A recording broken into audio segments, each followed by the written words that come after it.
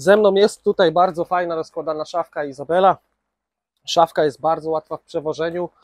Do szafki dołączona jest także torba.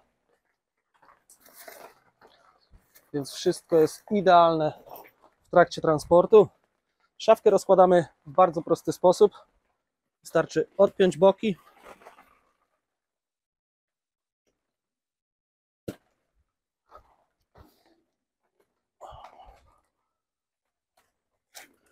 Do góry. Prostujemy szafkę w kolankach.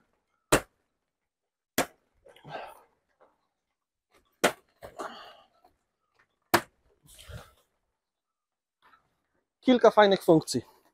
Boczne kieszenie, dużo miejsca w środku,